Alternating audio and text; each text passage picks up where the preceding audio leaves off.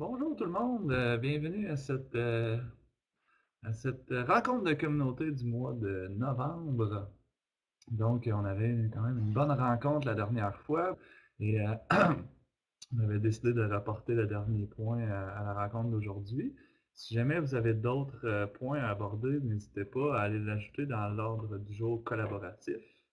Et si jamais on n'a pas le temps de le ramener ou on pas juste à lever la main, puis on abordera ça avec plaisir. Il n'y avait pas énormément de points aujourd'hui. Euh, mais commençons euh, tout de même avec euh, la discussion de la dernière fois. dans, certains milieux, remarquez que les, les résultats des adultes dans les parties pratiques étaient quand même plus élevés que dans les parties théoriques, puis aussi que Exemple, en chimie, même si l'adulte n'a pas des bases conceptuelles euh, très très fortes, euh, ça peut quand même, euh, il peut quand même s'en sortir et avoir de bons résultats. Donc, la question est est-ce que d'autres constatent la même chose? Est-ce qu'il y en a qui voient là un problème ou plutôt une bonne nouvelle? Est-ce que vous auriez des choses à dire par rapport à ça? Oui, euh, c'est juste pour ajouter que de notre côté aussi, euh, ça a été soulevé par, euh, par les profs, cette problématique-là. on est en train de chercher, on, ben là, on ne cherche pas dans les archives un élève dans lequel ce serait une situation, mais là, ce, que j'ai demandé aux enseignants, c'est, puis à la technicienne, c'est de la prochaine fois que ça arrive dans un cas comme ça, ben, qu'on on, le regarde, je voudrais m'asseoir avec eux, puis explorer la situation, puis voir comment c'est comment on peut interpréter, puis c'est quoi le. Est-ce que ça garde la philosophie ou à quel moment, euh, ben, comment on pourrait éclaircir la situation en fait? Est-ce que c'est vraiment le cas? Est-ce que l'élève connaît vraiment pas sa matière ou, ou c'est euh, juste une, faiblesse de l'élève de s'exprimer euh, dans un français correct ou en tout cas d'organiser ses idées pour faire l'analyse en fait de, la situation? Je ne sais pas trop, là, je ne sais pas où, pourrait se situer cette problématique-là. Mais nous, on, va travailler là-dessus éventuellement quand on aura des, cas qui vont se présenter. on va faire une. Ah. ah. OK. On en a une euh, qui s'est arrivée, mais on n'a pas regardé encore la, situation. en tout cas, nous, on, va se pencher là-dessus. Puis on pourra peut-être vous partager nos conclusions un peu plus tard. Super, merci beaucoup, Martin. Euh, Philippe? Euh, ben, je voulais juste euh, je n'ai pas de piste de solution, mais je voulais juste vous dire qu'on observe la même chose euh, secteur des jeunes depuis euh, pratiquement 10 ans, donc avec l'application des nouveaux programmes. On voit que les jeunes réussissent très, très bien la partie expérimentale. Les critères d'évaluation évaluent beaucoup plus la démarche de résolution de problèmes que la compréhension des concepts. Donc, euh, c'est une réalité qu'on voit là, depuis, euh, depuis longtemps, cette heure des jeunes. Je veux juste dire que c'est pas quelque chose. c'est normal d'observer ça pour des programmes qui sont, très, qui sont identiques aux jeunes et aux adultes. Merci Philippe. C'est intéressant d'avoir un éclairage euh, qui compare la, FGG et la FGA. France, euh, nous autres, Seigneurie, euh, on a modifié beaucoup nos laboratoires cette année. Euh, nos premiers élèves avec les nouveaux laboratoires devraient faire des examens à compter de la semaine prochaine. Donc, on va voir si, cette problématique-là va se retrouver encore. Donc, on est en attente, nous aussi, et en observation. Super, merci. Super, merci ce qui avait été soulevé aussi, c'était que la tâche 1, qui est de faire ressortir les principes, euh, dans, un cas en particulier, c'était vraiment pas réussi. C'est comme si l'adulte avait juste pas pris le temps de répondre. Mais dans l'analyse, euh, la, mobilisation des connaissances pour faire les différents calculs et tout ça, c'était bien. Et puisque le poids de, de la tâche 1 n'est pas énorme du point de vue de, faire euh, ressortir les principes, ben, c'est là qu'on se dit, ah, il n'est pas capable de faire ressortir les principes, mais au final, le résultat est très très bon parce que euh, dans son analyse, il, en est quand même venu à bout. Et des fois aussi, le rapport de laboratoire est vraiment pas joli. Mais euh, ça, c'est plus l'aspect communication. Donc, ça n'a pas, un impact tant que ça sur le résultat final. Ce qui fait que des fois, on est surpris d'avoir un 33 sur 40 pour quelque chose qui a de l'air vraiment pas joli. Je sais pas comment le dire pour pas être euh, péjoratif. mais... bon, on va, on va, on va c'est intéressant d'entendre euh, France et Martin. Peut-être qu'ils en auront plus à dire dans les, prochaines, dans les prochains mois. Euh, j'ai mis un point nouvelle parution. Euh, c'est pas nécessairement des nouvelles nouvelles. Je me rappelais plus si je l'avais déjà dit, mais euh, j'avais été au congrès des enseignants de sciences en octobre à Sorel. Et j'ai appris là que RP allait sortir du matériel pour les cours sciences générales. Donc, travailler là-dessus présentement. Et ils vont aussi refaire leur, euh, leur, euh, euh, cahier de chimie et de physique secondaire 5 pour faire le découpage en fonction des cours des adultes. Donc, je pense pas qu'il y ait. Je, pense qu'on va faire quelques situations aussi d'apprentissage pour ajouter au matériel existant. Donc, ça, c'est des nouveautés à venir.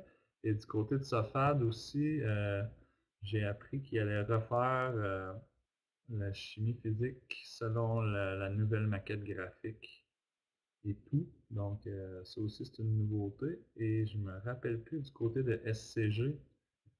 Peut-être qu'il y a quelqu'un qui le sait, s'il allait se lancer ou non là-dedans. J'imagine que oui. Mais France, oui. Allô? Euh, c'était pour vous dire qu'effectivement, Alain Penneau euh, euh, m'a dit qu'il était en train de travailler là-dessus, sur les cours de sciences générales. Ça va sortir façon autour du mois de mars, février-mars, ça achève. Ils sont quand même assez avancés. Ok, super, merci beaucoup. Une autre bonne nouvelle, donc février-mars, c'est comme demain, ça quasiment. Hein? Donc, si, c'est effectivement le cas, ça, nous laisserait le temps de, préparer un petit peu les cours pour l'implantation obligatoire à venir cet été. Euh, donc voilà, je pense que c'est des bonnes nouvelles. même si je l'avais déjà dit, je pense que c'est une bonne idée de, le, redire pour que tout le monde euh, le sache. Sinon, prochain point, euh, des fois on, se surprend à avoir de, bons résultats alors qu'on trouve que le rapport de laboratoire n'est pas nécessairement excellent. Mais euh, c'est quoi la finalité euh, de ces épreuves pratiques-là? Qu'est-ce qu'on cherche à évaluer dans ces épreuves-là? La réponse à ça va peut-être expliquer pourquoi euh, les résultats sont meilleurs ou notre façon d'aborder l'évaluation de ces épreuves-là. Ben, en fait, si on regarde attentivement les, les critères, si on regarde comme il faut la compétence, tous les éléments descriptif de compétences, on est vraiment dans une démarche de résolution de problème. Donc, euh, on soumet un problème à l'élève, puis on veut regarder est-ce est capable de, euh, de circonscrire le problème, est capable de, euh, formuler une hypothèse. À partir de l'hypothèse, ben, est-ce est capable, quel matériel, quelle manipulation il va prendre, quelles données il va recueillir pour être capable de soutenir son hypothèse, puis après ça, ben, comment il va faire pour Donc, on est vraiment dans une, dans euh, une, démarche de résolution de problèmes.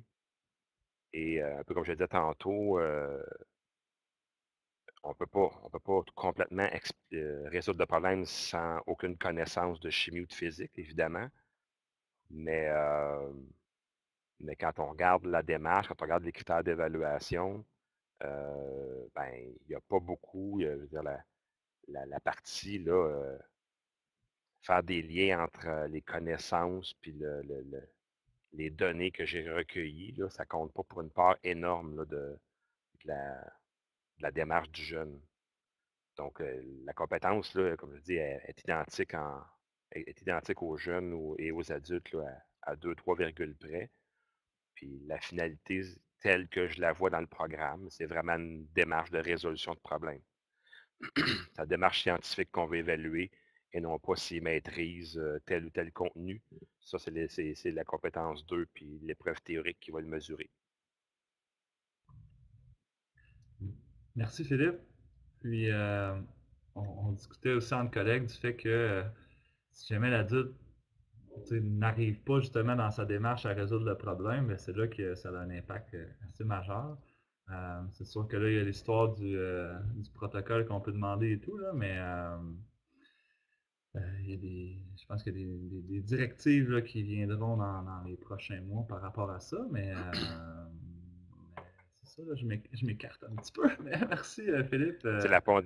C'est la, la, pondération de la, du volet pratique par rapport à, elle est énorme par rapport au temps qu'on y consacre. Puis, euh, et, au secteur jeune, on le voit aussi, c'est problématique. Là, euh, quand tu enseignes une année complète à des élèves, puis tu regardes le nombre de laboratoires que tu as fait, puis tu regardes dans une étape, tu fais un ou deux labos, puis ça, c'est ça qui, compte pour euh, une, grande, une aussi grande partie de la note. C'est questionnant des fois par le temps qu'on y consacre, les apprentissages qui y sont faits versus euh, combien ça compte dans une étape, dans une année.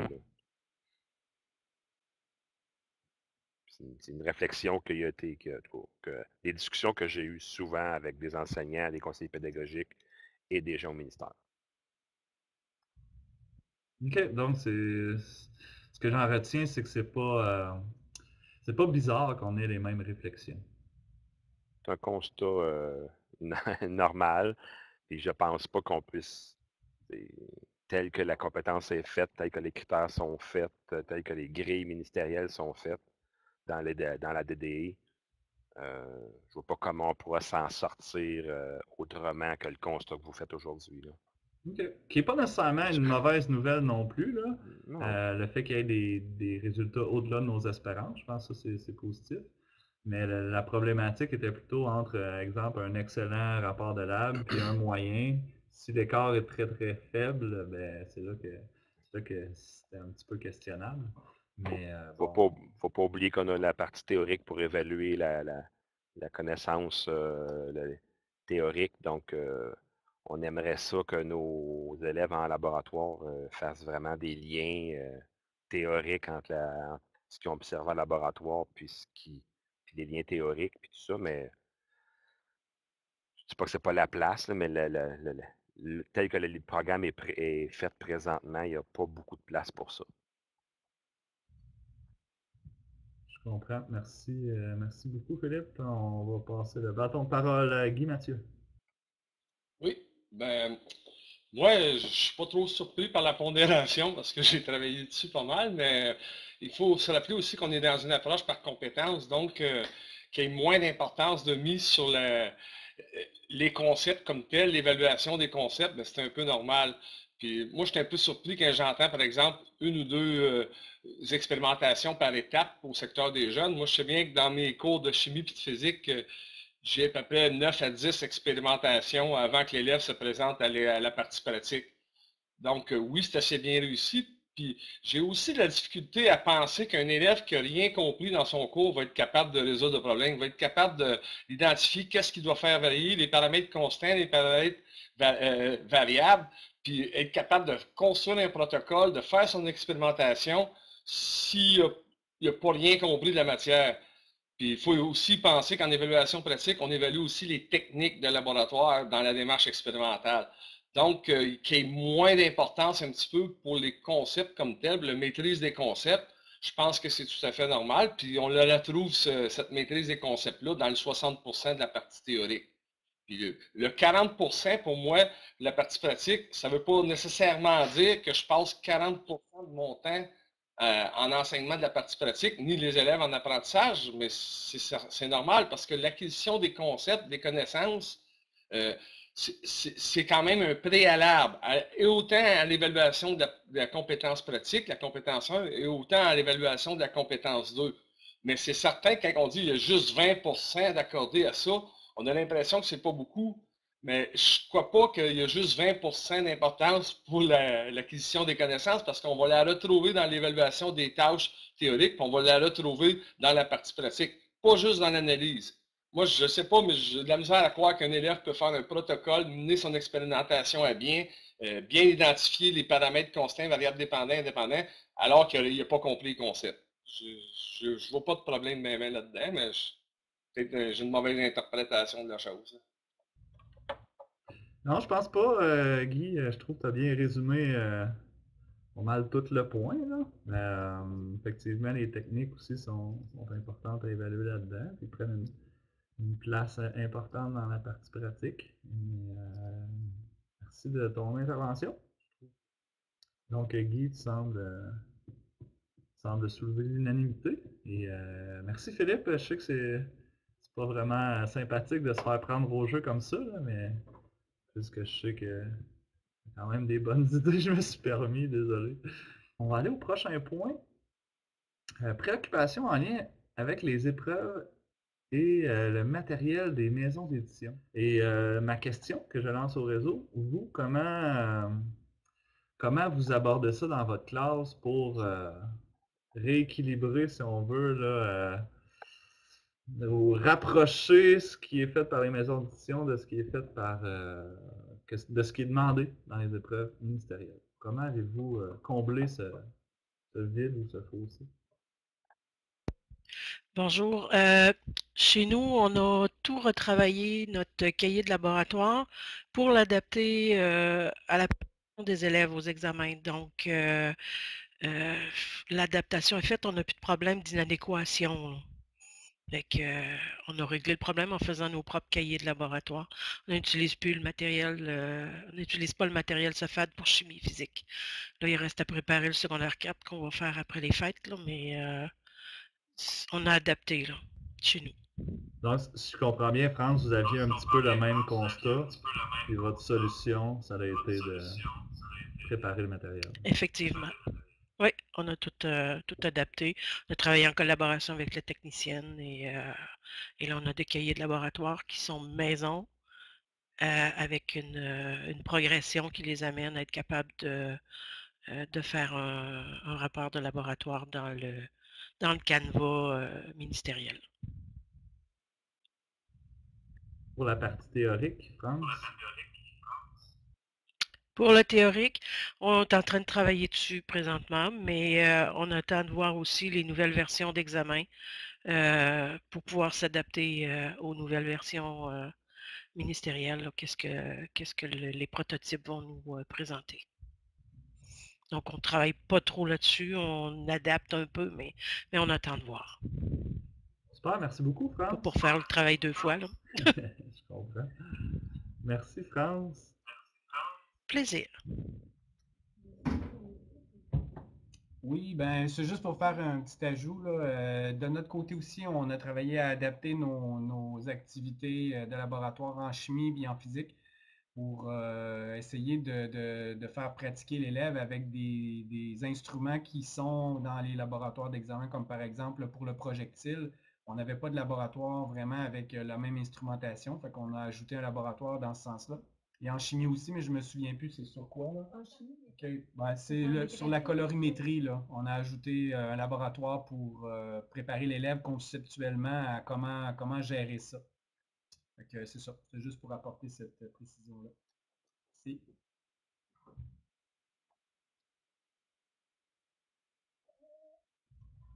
Merci, merci Martin. Donc, je pense que ça faisait partie des, euh, préoccupations de Mme Martel, justement, de, autant au niveau de, des, euh, différentes techniques des laboratoires ou du matériel ou autre. Donc, euh, Il y a Guy Mathieu qui que je comprends, son intention aussi. Oui, de ce que je comprends, c'est ça, c'est que on n'a pas nécessairement gêné pour aborder ces thèmes, pas ces thèmes-là nécessairement, mais ce matériel-là, pour pas que ça soit une surprise à l'évaluation. Guy, Guy Mathieu. Oui, ben justement, euh, ben, moi aussi j'ai déjà déposé des préparations pour chimie physique. Cette année, j'en ai déposé 61-62, puis aujourd'hui, je viens justement de déposer sur module, le Salon national, euh, une préparation euh, complète pour le 40-64, dans lequel j'ai adapté aussi les laboratoires pour les rendre plus progressifs, et dans lequel j'ai ajouté aussi deux situations, dont une qui, comme par hasard, intègre une colorimétrie. Ben, pour le 4064, je pense que un incontournable. Euh, mais j'ai aussi, euh, dans le 4062, dans le 4061, dans le 4063, 64, euh, déposé des pré-tests pratiques qui sont faits un peu sous la forme des, des épreuves du ministère. Que ça aussi, je pense, ça prépare. Il n'y en a pas pour, comme en physique, j'en ai pas déposé parce que j'en ai pas préparé, là, mais c'est certain que ça serait bienvenu d'avoir aussi des situations un petit peu comme les euh, épreuves qui prépareraient aussi les élèves là, à la fin de tous les laboratoires. Mais c'est ça. Merci beaucoup, Guy. Euh, j'ai vu, je pense, hier ou avant-hier, euh, pour ce qui est de chimie physique, sur le site Formation DA, là, donc je pense je me rappelle plus du nom de la personne qui s'occupe de ce site-là, mais avait déposé les pré-tests euh, de Justin Béchard et Anthony Wonsing. Donc, euh, certains ont pu se procurer probablement à l'atelier de la KFGA, entre autres. Là. sont maintenant. J'ai vu ceux de la CS de la capitale aussi, euh, clin d'œil à Marc-Claude Lévesque, là, qui sont disponibles sur ce site-là. Donc, la plupart étaient déjà disponibles sur Moodle FGA, mais là sont rendus, si on veut, public sur la toile, sur le web. Donc ça, c'est sûr que ça peut aider aussi, ou ça peut combler des fois là, euh, ce vide-là entre ce que les maisons d'édition ont préparé et euh, les évaluations auxquelles euh, feront face nos adultes.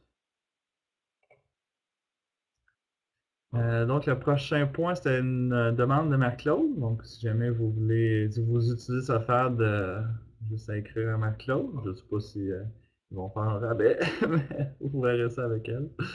Bon. Euh, prochain point, Étienne. Je laisse la parole.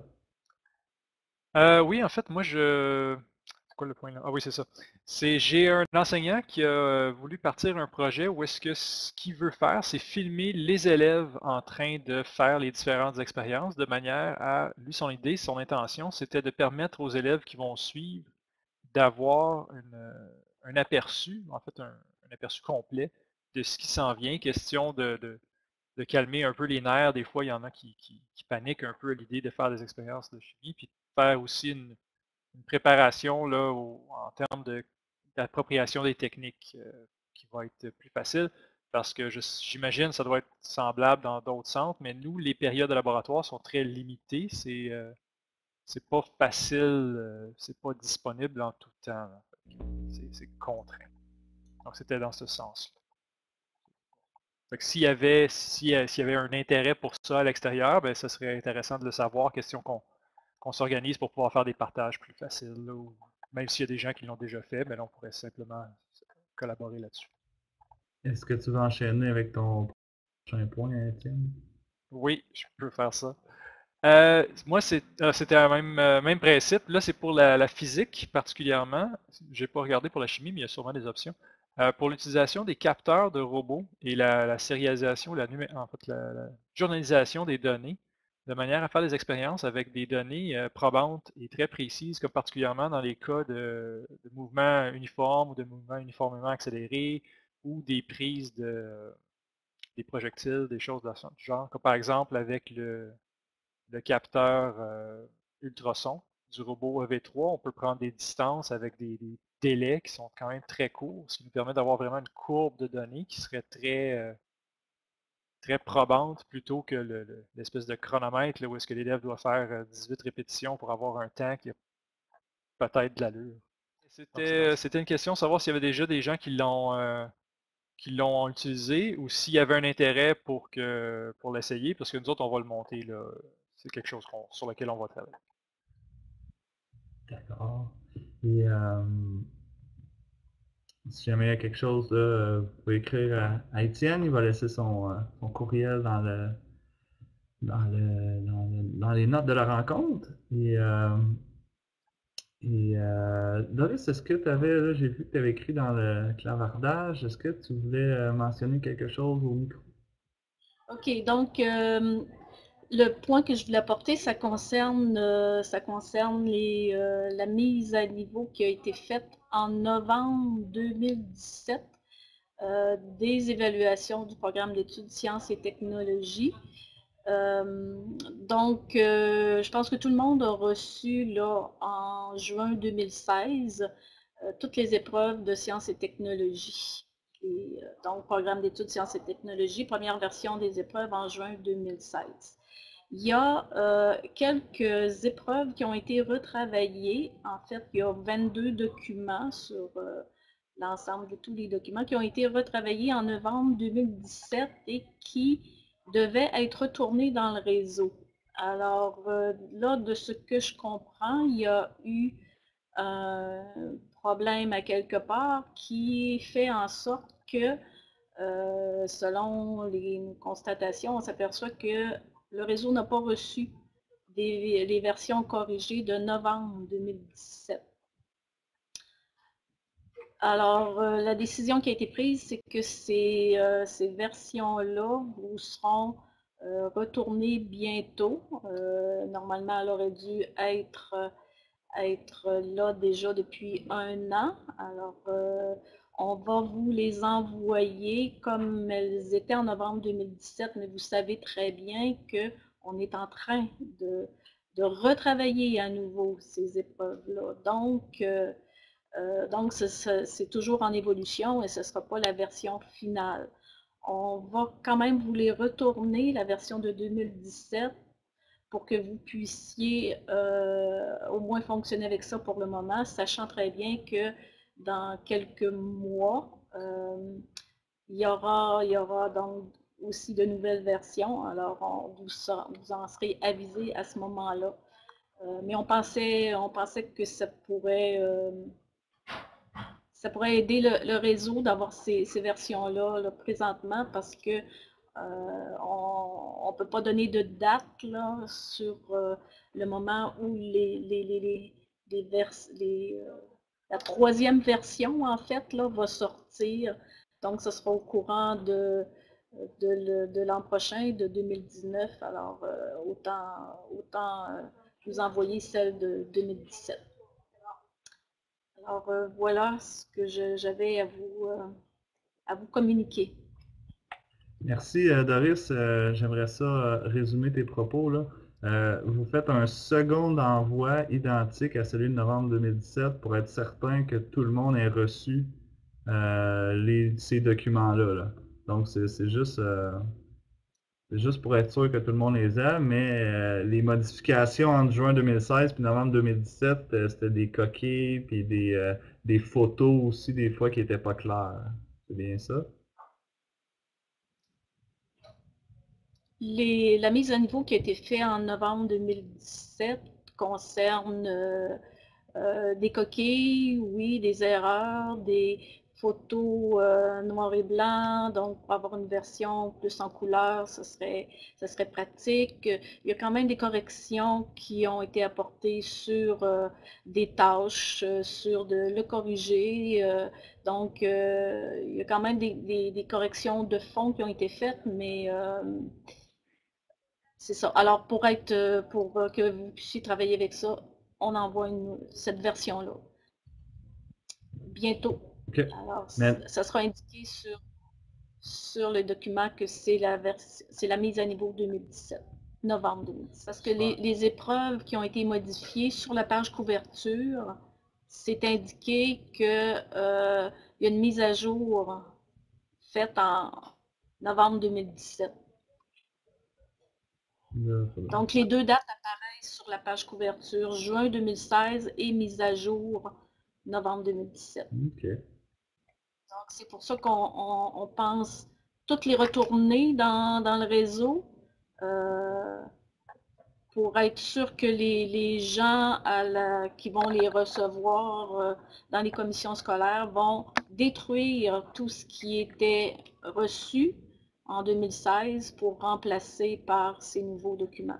Oui, l'ensemble des épreuves euh, de, de, tous les cours, ça représente 60 documents.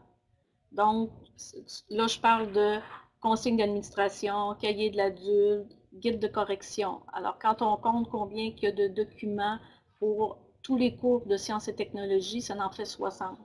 Et sur les 60, il y en a 22 qui ont été euh, retouchés, corrigés. Donc, on ne vous enverra pas 22 documents, on va vous envoyer les 60 pour faire en sorte que les gens qui vont recevoir ces évaluations-là détruisent ce qu'ils ont reçu en 2016 et remplacent par ce qui sera envoyé. J'imagine que cet envoi-là va se faire de façon électronique? Cet envoi-là va se faire de façon électronique. Donc, euh, chimie physique, je pense que c'est pas la même chose. Ça se peut-tu, Doris? C'est ça. C'est ça. Là, là, ce qu'on parle, c'est uniquement euh, le programme Sciences et technologies de quatrième secondaire. Merci, Doris, pour euh, ces précisions. Donc, euh, on est rendu. je vais voir dans le. Euh, formation des élèves sur Excel pour l'utilisation permise lors de l'évaluation. Euh, Étienne. Euh, C'était encore une fois une, une question soulevée par, euh, pour savoir si, euh, si les gens prenaient le temps ou ils sentaient le besoin de faire des formations particulières sur Excel pour permettre aux élèves de l'utiliser en évaluation pour produire leur rapport euh, ou si c'était fait euh, juste à la bonne franquette, si on veut. Est-ce qu'il y a des enseignants qui ont eu des adultes qui ont eu à utiliser Excel dans leur, euh, dans rapport de laboratoire? Marie-Claude. Euh, ben, en fait, ce qu'on se rend compte, c'est qu'en individualisé, là, les élèves, euh, même si on leur vend, entre guillemets, la salade d'Excel, on dirait qu'il y a quand même une réticence. Donc, ce qu'on a décidé de faire, c'est des ateliers deux à trois fois par année. On part avec une gang d'élèves, puis tout le monde, on donne une formation là, de deux heures. On pensait utiliser les, euh, la formation que François t'avait fait euh, pour les profs. Là. Il y a un site euh, avec des défis allant de, de, de intermédiaire à expert. fait que, puis, dans le fond, le prof va partir avec ses élèves, puis il va avoir un, un remplaçant au besoin dans la classe, on va offrir les ateliers à tous. Si Marc-Claude, ça, ça répond à, à la question. Euh, France? Euh, chez nous, euh, on n'utilisera pas Excel durant les examens, mais ils vont avoir pour chacun des sigles un laboratoire euh, où ils vont utiliser Excel. Et pour les obliger à utiliser Excel, ben, le ça va être plus un laboratoire qui sera théorique et ils devront aller chercher leurs résultats euh, sur euh, le fichier Excel. Donc, euh, ils n'auront pas le choix de passer par Excel pour faire le laboratoire. OK, donc c'est c'est votre façon là, de Merci. que l'adulte développe ses, Les- ses connaissances, compétences là-dedans, mais pas à l'évaluation. Non, pas à l'évaluation, mais euh, une fois qu'il aura fait obligatoirement un laboratoire en passant par Excel, ben, on va les encourager à continuer avec Excel pour produire leurs graphiques et, euh, et tableaux de résultats pour la suite et euh, si possible l'intégrer aussi dans Word pour faire un rapport complet avec intégration d'Excel dans Word. Mais OK, je pense par étapes. C'est bon, je pense que j'ai mieux compris. Là, ça sera pas. Euh, euh, L'adulte va quand même avoir le choix à l'évaluation. De, de produire euh, de la façon qu'il veut son, rapport. Oui, effectivement. Ça fait un petit bout que je les ai pas tous regardés, là, mais est-ce que l'utilisation d'Excel est euh, favorisée? Est-ce qu'elle est euh, obligatoire un peu comme dans le prototype? Ou est-ce que c'est il n'y en est pas trop mention, puis c'est l'adulte dans sa façon de faire son rapport qui, va choisir?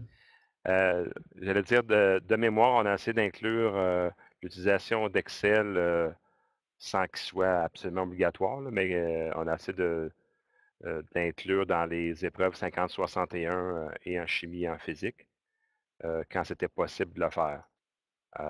Maintenant, j'ai pas fait de nouvelle épreuve en 50-61, euh, ni chimie ni physique depuis le printemps dernier, donc l'hiver dernier, donc il s'est pas, j'ai pas eu à retravailler ce dossier-là, mais que se basant sur le prototype, j'essaie de, en tant que le plus possible, que l'épreuve puisse le permettre.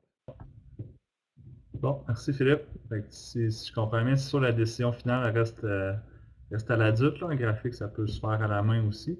Mais euh, ça serait, ça serait un gros plus pour leur passage au cégep d'être capable de faire des graphiques avec Excel. Donc, euh, finalement, l'idée, c'est peut-être aux enseignants de, de- de- de faire un bout de chemin dans l'appropriation et tout ça.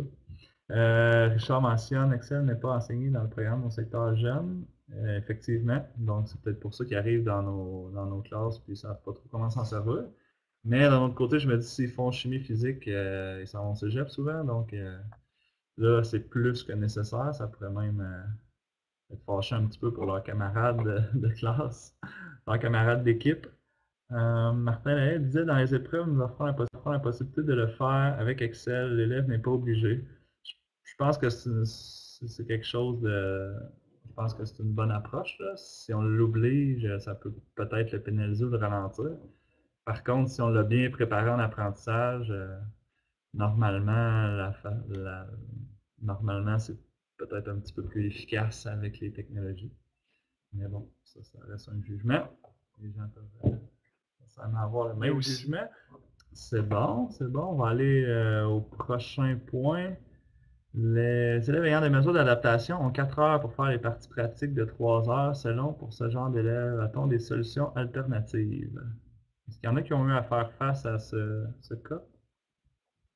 Des parties pratiques de 4 heures? C'est sûr qu'il y a une bonne partie rédaction, donc je comprends aussi euh, l'ajout de mesures d'aide pour ces élèves-là.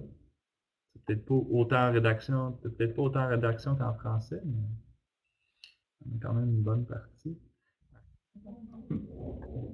Euh, oui, euh, écrit ce point-là parce que c'est une euh, problématique qui a été soulevée chez nous. En fait, comme par exemple les élèves du soir qui doivent faire l'examen puis qui ont une mesure d'adaptation, il y a 4 heures pour faire l'examen. Là, commencer l'examen à 6h30, finir à 10h30. Le centre ferme à 10h. Donc, il faut commencer plus tôt. Ça veut dire que là, il est obligé de commencer son examen à 6h, puis peut-être même un petit peu avant. Euh, puis de toute façon, l'autre problématique, c'est que c'est une personne qui est en mesure d'adaptation, donc il y a des difficultés d'apprentissage, de concentration, d'attention et tout ça. Puis là, ben, on, y prolonge le temps dans lequel il va être en examen à réfléchir et tout ça. Fait qu'on trouve qu'il y a comme un non-sens. Fait qu'on se demandait s'il y avait des mesures alternatives ou s'il y avait d'autres possibilités. Euh, nous, en tout cas, on est en recherche de ça. Fait que c'était juste pour savoir si, euh, s'il y en a d'autres qui étaient confrontés à ça, puis si vous aviez des pistes. Merci. En attendant que les gens se manifestent, euh, c'est sûr que ce que tu mentionnais, là, difficulté de concentration, tout ça, euh, c'est la même chose, peu importe les matières.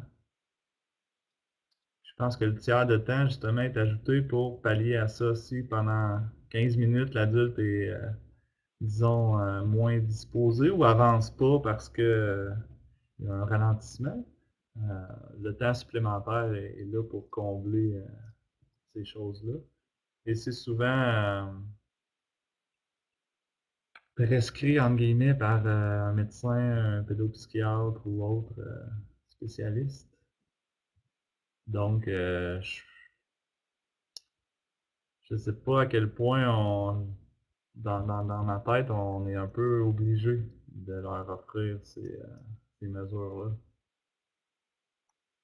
si c'est ça qui est prévu au dossier de l'adulte. Si c'était pas ça son besoin, ça serait pas écrit tiers de temps supplémentaire. Chez nous, euh, à ma connaissance, il n'y a pas d'autres mesures applicables. Puis, il euh, faut dire que toute mesure, c'est une mesure qui devrait être utilisée aussi en cours d'apprentissage.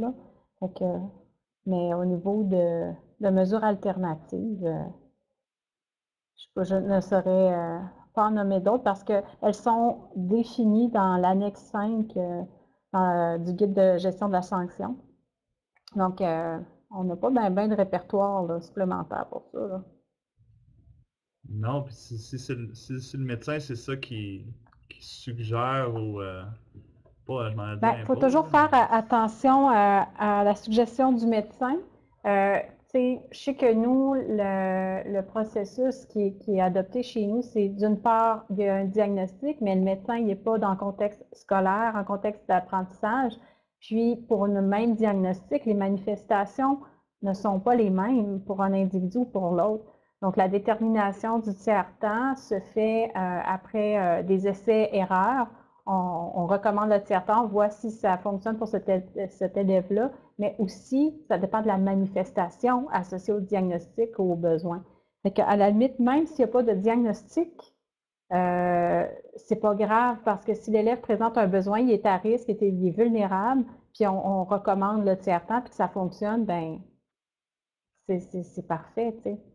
On, a fait notre job. Mais c'est pas nécessairement... Euh, je ne connais pas d'autres moyens, par contre. Euh, merci, Marc-Claude. Euh, donc, c'est ça. désolé, Martin, je pense que n'y a pas d'autres... en tout cas, si vous avez des idées ou quelque chose, vous pouvez nous en faire part, mais d'un autre côté, je pense qu'il faut respecter les, besoins de l'adulte. Puis souvent, effectivement, ils ne prennent pas nécessairement tout le temps nécessaire, comme le soulignait Hélène. À part séparer les parties de l'épreuve, effectivement, mais corrige-moi Diane Ménard si je me trompe, mais pour l'instant, ce n'est pas possible de séparer les parties de l'épreuve. C'est même illégal. Euh, Est-ce qu'il y avait d'autres points? Est-ce qu'il y avait d'autres points? Euh, première seigneurie, nous avons modifié nos labos. Nos élèves feront des examens bientôt. Nous pourrons voir cela mieux avec les changements. Et j'ai l'impression que l'ensemble des points ont été couverts juste à temps. Et il est 13h59. Donc, à moins qu'il y ait des gens qui lèvent la main, et qui voudraient euh, s'exprimer sur un autre sujet ou sur des sujets déjà mentionnés.